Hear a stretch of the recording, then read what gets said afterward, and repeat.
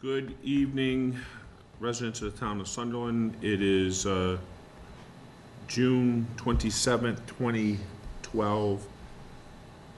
Boy, good thing I didn't read the date on the agenda. Yeah, about a year ago.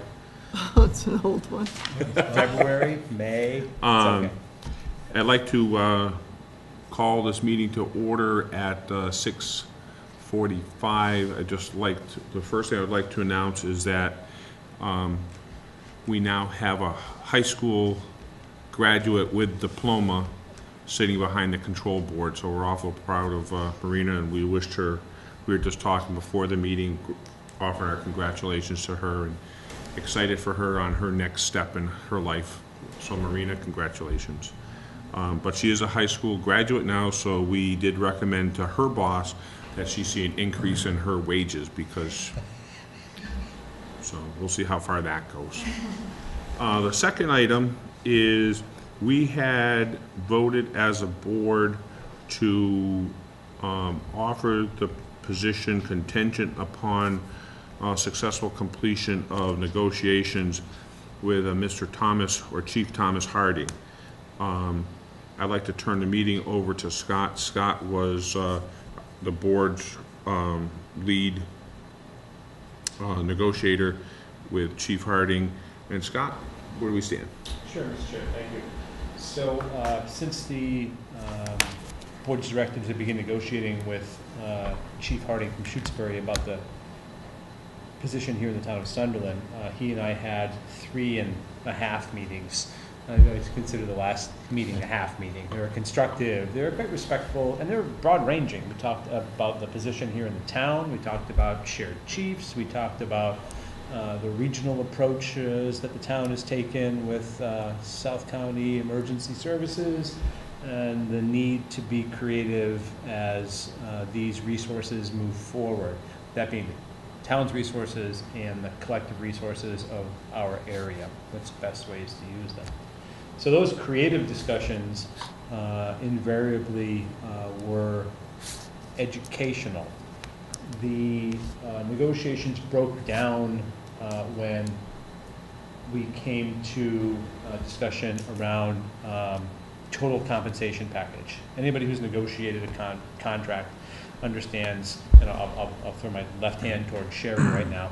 We, we, we negotiate total compensation packages. There's the W-2 package, there's the vacations, there's the, all of that. They're associated with the total compensation. And we simply couldn't come to an agreement. As you know, the the town appropriated, uh, salary of seventy-two thousand dollars, and we have some latitude inside of contract negotiations to work on, uh, some of the holiday schedule and intangibles around education and education incentive. And we frankly weren't, we weren't that far apart, but we were far enough apart that there was no way I could come back with a straight face to the board and recommend uh, extending the negotiations any farther. And Tom, to his credit, ever a gentleman, understood as well that this is just business. It's quite all right. It's, it's just the way it is. So uh, we agreed uh, that I would come back to the board with a report uh, and that his, um, his uh, decision was not to accept our offer. And our offer was uh, inside of the appropriation and with the latitude that the board has uh, to negotiate inside of the bylaws. So at this point, Mr. Chair, Tom Harding is not going to be part of our discussion with respect to the position of chief here in the town. And uh, we had asked Sherry, talked to Sherry earlier in the week, uh, late last week, to see if the two remaining candidates uh, still had interest in the position. And uh, she said that, uh, having reached out to both uh, Jane and Eric, that both were still interested in the position. And it's important to bear in mind, interest in the position only opens the door to negotiating again. Right. It just, it's, again, as I said it the first time, this isn't the appointment process, that comes after the negotiations. Uh, So at this point, Mr. Chair, we have an, we still have an opening here for the chief of police in the town of Sunderland. Well, if I could, Mr. Bergeron, thank you. Um, The first, um, we have Officer in Charge uh, Brendan Lyons um, here tonight, and Brendan and I were talking before the meeting, and I was, I was um, thanking him for his leadership since the retirement of Jeff. In particular, the officers um, are out, they're very visible. Um, At the meeting. we, as members of the board, have received many positive comments um, about the department, while Brendan, and I, I just think, and again, I just wanted to publicly recognize Brendan for his work. Um, It's not easy holding a seat warm. Um, There's a lot of, there's a lot of challenges to, to that. Um, Brendan has more than stepped up to the plate, and, and the men and women in our department have responded very well to his leadership. So Brendan, again, thank you very much. Um, Just knowing, just seeing, just um, listening to people, um, and the notice, the notice, them noticing the ch- changes um, has been um, welcome because our residents are watching, I guess. You know, sometimes you wonder if they care.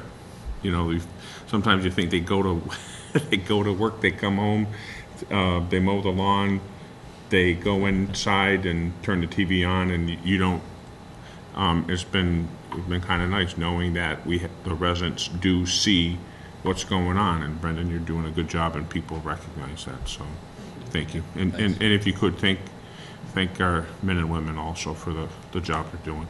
It, it's very much appreciated. You know, it's not just me, it's every officer in the department. Um, They're all coming together as a team and and being very proactive, and like you say, they're being visible out in the community. That's very good. important. You know, I see them, they're sitting, the windows are open, they're, they're, I think, I think they're doing it the right way. You know, there's a lot, that- there's a lot that can be taught through education, and I think you guys are, are educating, and that's, that's a good thing. Good thing. All right, Mr. Pierce and Mr. Bergeron, where, where do you want to go? We still have two potential candidates in uh, Eric Demetro, Metropolis and uh, Jane Dalbert. Uh, What's your pleasure? I know, um, eh, this is kind of an interesting thing sometimes because it says, oh, they didn't get the first choice. Um, I, I don't, I, I, sometimes I think, um, that, that's hard.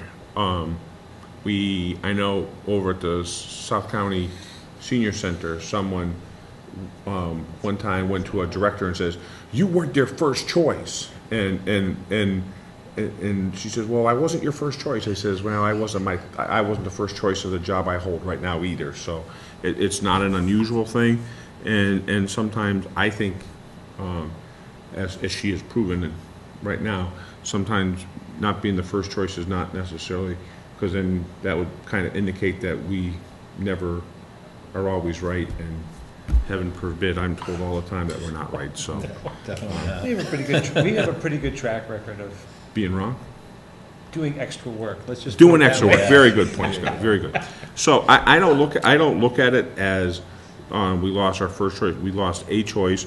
Um, I can, I can comment that both, I will comment that both, um, both remaining that were presented to us come highly recommended, um, by all members of the search committee. So it's not like one, uh, there was just one out of the three, but all three were, were rated equally, that they're, they're very good. And, and I think for us, when we had our discussion, it was just a fit that we thought was right at that particular time. Time has passed. Um, we know, uh, Chief Harding is no longer in the mix, so that we will, we will go and, if it's okay with you, we'll discuss both, both members and see, see where we want to go and see, see what we want to do. So, David, thoughts? Or Scott? Dave, you wanna go ahead and start? I think it's a good idea. I mean, I'm, I'm pretty comfortable with, you know, with where, where I stand on it, so, Yeah. but, yeah. What do you think, Scotty? So if I could, Mr. Chair, the, the, you, anybody who watched the, the first round of, uh, the first round of our, our deliberations, you know, know, knew that I took pause and, you know, changed my gears and spent a fair amount of time looking at these same sheets. I've taken one set of sheets away, because that's not part of the equation anymore. And I have to say that it's still, uh, a measure of experience rising to the top, uh, a measure of experience in the position rises to the top to me as a uh, key component in the decision-making. That's not to say that someone who hasn't managed an organization or hasn't run shifts or hasn't run some of the administrative components uh, isn't necessarily uh, qualified. Again, we have recommendations here in front of us, but I would, I would uh, put forward the name of uh, Eric Demetropoulos as our, as our, my consideration for the position. Okay, is that, is there a second? Yeah, I'll second that. Discussion? David, thoughts? Um, yeah, I think, um, I think I, some of the, some of the things that I thought before, I had, you know, a little time to reflect on it too afterwards, so, which was nice. And, um, I think one of the things too, you know, you were talking about going, you know, changing your mind and things like that, but it also, I think that shows a lot of effort put into the thought and how, you know, I, I, people probably don't realize how much thought we probably, we had a lot of time driving and thinking, time, yes, you know what I mean, to, to go back and forth. So it, it's not something that we arrive at, um, easily and quickly too, so. um, But, uh, I, I'm still comfortable with my original thought. I think just for the fit for the town and where we want to go and everything, I think, um, I think I'm comfortable with that choice. But e- either way, you know, they're both good candidates, so I think we were lucky enough to get, um, good, uh, recommendations from the committee, so. Um, Mr. Chair, what do you think? what's that? Mr. Chair, what do you think? Oh, I, you know, what, one of the things I, I've, I've thought, um, I've, it's funny, sometimes I think it's important, you know, we keep, we keep notes and we go over notes and, and we look at, and, and, you know, look at different things and I kind of reread resumes and, um, I, I, I think, um,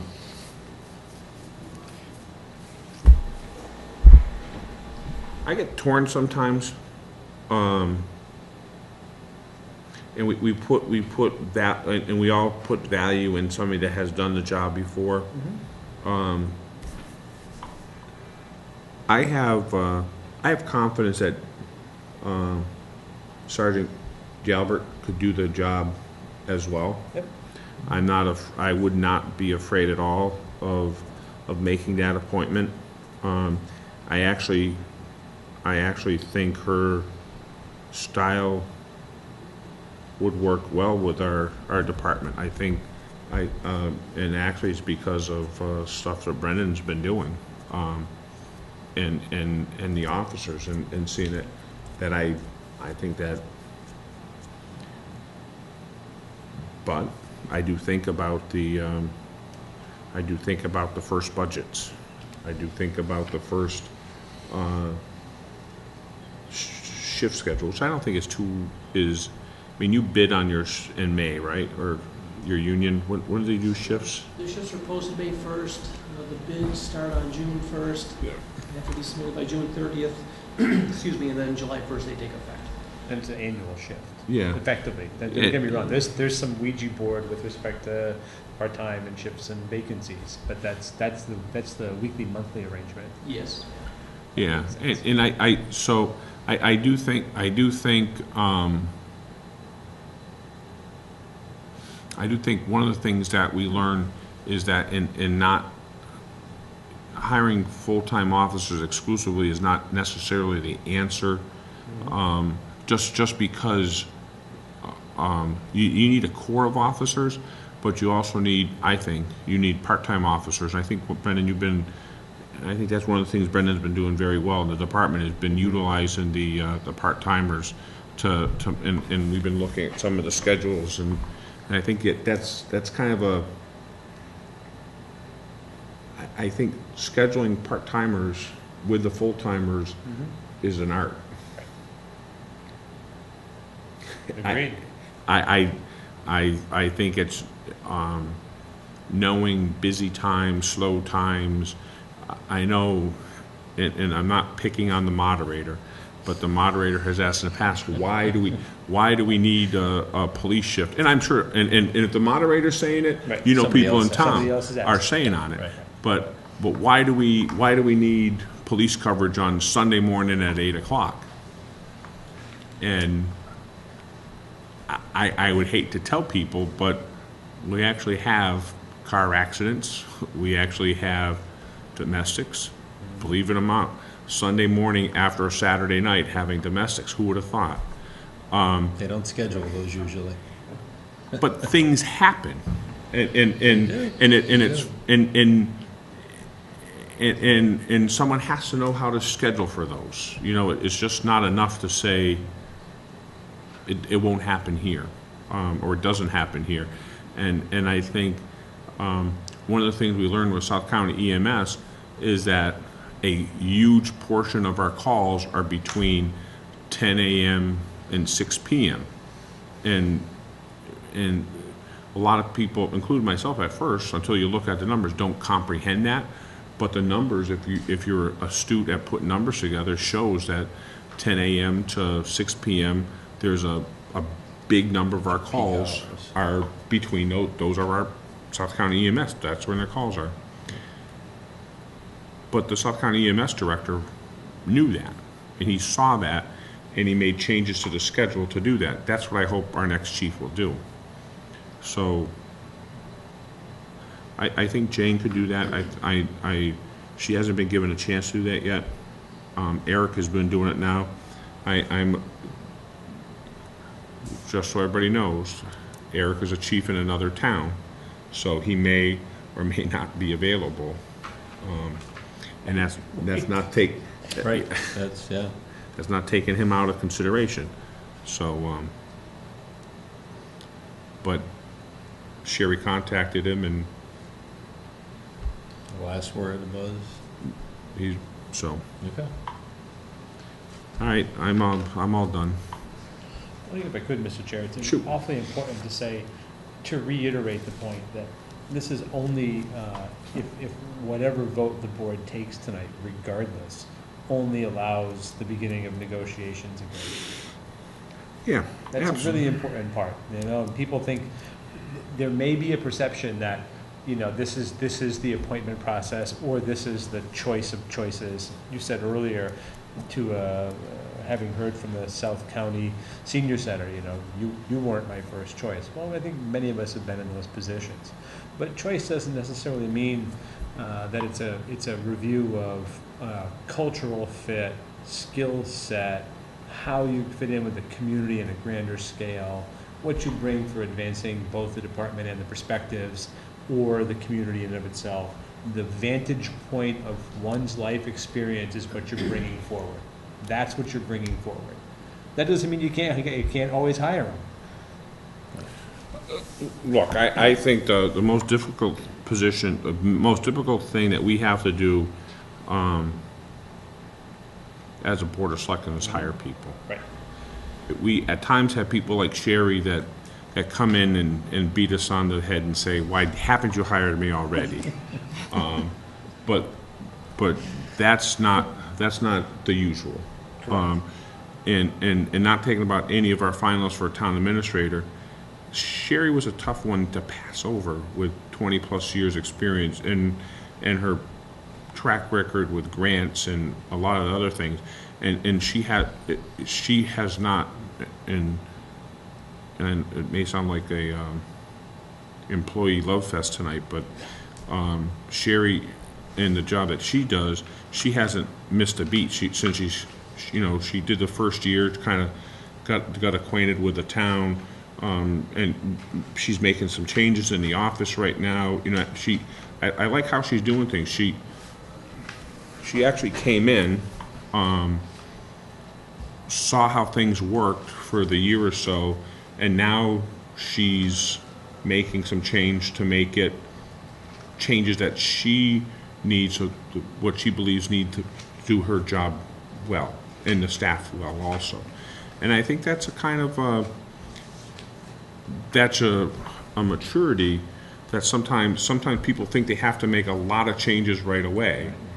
And, and, and, and being able to sit back and al- see how things work, um, that's a, that's a, that's a talent, that's a gift that a lot of people don't have, so.